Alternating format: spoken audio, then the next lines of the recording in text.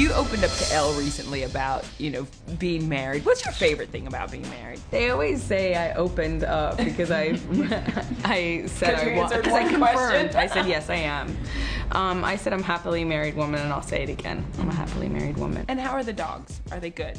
Yes, they're good, despite attempts by certain rogue, uh, thug Australian government officials. They are all right. Uh, we were wondering because it became like this snowball effect It's out amazing. nowhere. I cannot believe that this. We. It's a sad state of affairs um, that that made such headline global news. I'll just say that it is sad. They're back on American soil. though. Yes, my little Yorkies are with me. They're fine. They're fine. That precious little dog, yeah. No, it's my baby. That would cause an international incident. You would never. You met her. I did. Did you, meet? Did you yeah, you should.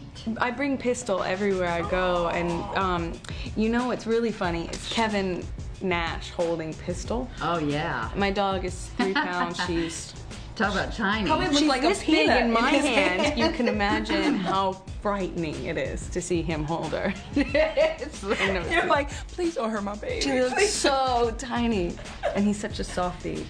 He's like, oh.